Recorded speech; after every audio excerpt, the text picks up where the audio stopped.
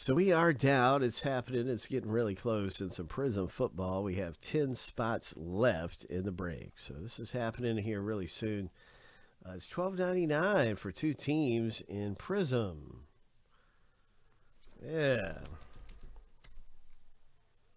That's pretty good. That's not bad.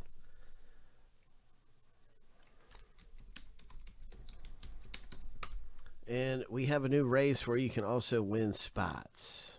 So one spot is two teams.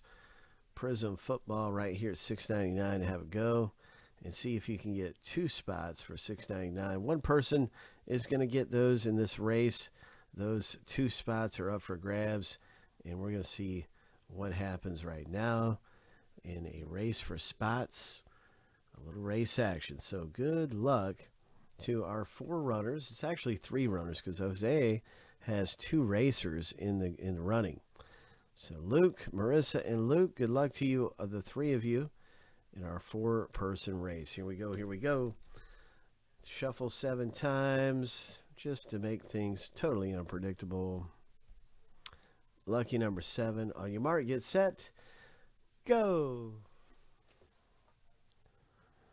So Bob's away, so he's never going to win another filler. That's a recipe to win if I've ever seen one. Jose is in the lead with the red shoes in the number three green jersey.